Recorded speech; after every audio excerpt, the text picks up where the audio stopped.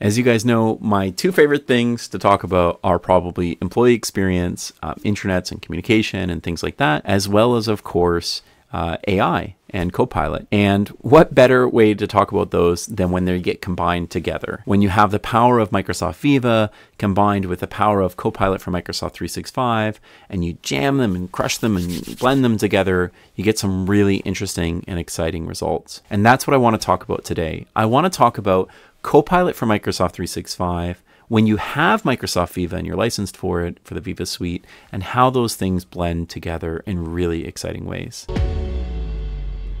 So let's talk about this from a really simple example. One of the things that Copilot provides is helping you catch up with what's going on across the organization. So, what happened in a meeting recently, or you know what you might want to follow up on uh, in your organization. But of course, it also provides signals and data from places like Viva Engage, helping you understand what are trending topics and conversations and how you might be able to participate in them. In this example, we see that there's a question around one on one meetings and the difficulty of prioritization and discussing prioritization with your manager. So let's use that as an avenue to explore more. We're going to choose to learn about prioritization here, and we're going to see that Copilot is going to aggregate signals just like it does when I'm preparing for meetings or doing other activities across the organization from many places. It's aggregating signals in this example coming from our uh, Viva Engage experience, helping us understand what are all of the um, posts that are revolved around the term or topic of prioritization. We can also see things around sentiment because I'm a leader in the organization. So I have leader capabilities, uh, you know, capital L leader capabilities in Viva Engage. And so that helps me understand how people are um, you know, talking about these topics and how I can engage with them. It also gives me some interesting insights. We have a marketing priorities document with some top initiatives. So that's a SharePoint data signal being mapped right against a Glint one.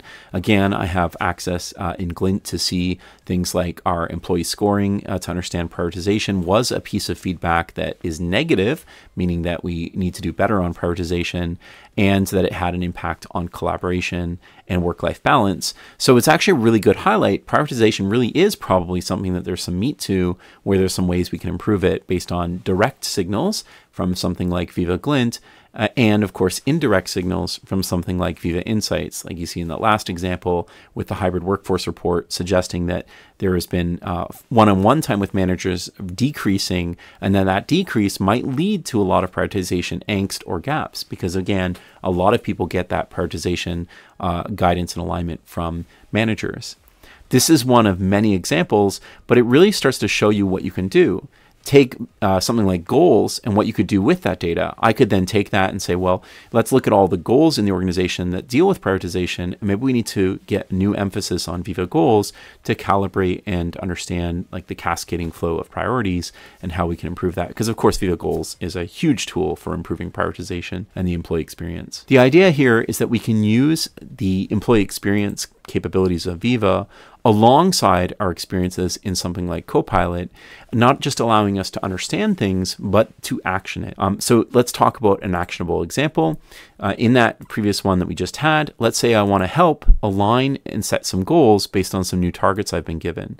In particular, I want to grab those from a marketing initiatives document.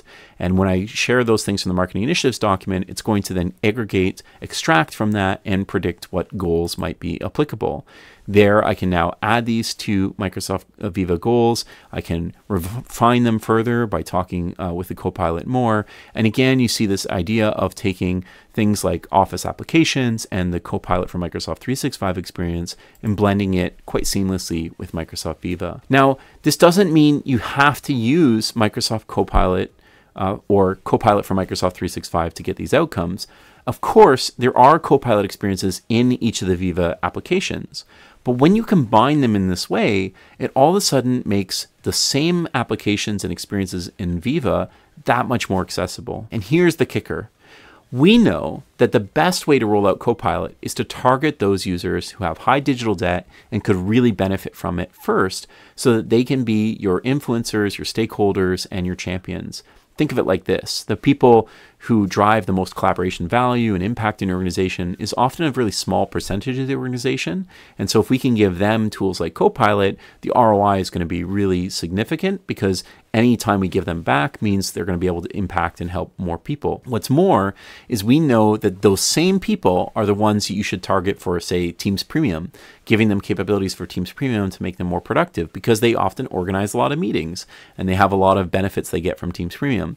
They're the same people that you give Viva uh, Suite to. The same people that have the capabilities where they need Viva Insights Premium to improve their productivity, or they need Viva Goals to coordinate and collaborate uh, around prioritization across the organization more, or they're the same people that really benefit from you know being active participants in sharing and creating uh, learning uh, collections and academies and other types of material because they create teams and they create SharePoint sites and they create a lot of um, coordination and, and support around learning uh, and behaviors across the organization like that. And the list goes on and on. They're the same people that should be leaders in Viva Engage, the same people who are capital L and lowercase l leaders in Viva Engage that might want to run AMA events or benefit from the new leader reports that you get within uh, you know, Viva Engage are the same people who would probably do multi-channel distribution of communication.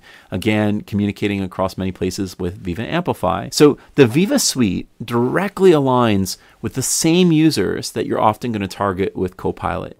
And because of that, thinking about how they work together and the ways in which we can lead with Copilot, help people understand how they can transform the way they work, and then introduce through that Copilot experience many of these Viva uh, capabilities is a really, really rich and interesting value proposition. And we're early in our, our uh, processes, but we're already seeing how these these correlated experiences can make a world of difference. So I hope this has been a bit insightful for you. Uh, if you're excited about how uh, Microsoft Viva can enhance the Copilot for Microsoft 365 experience, then I'm right there with you because I think there's so much more we can do uh, with these tools when they're paired together.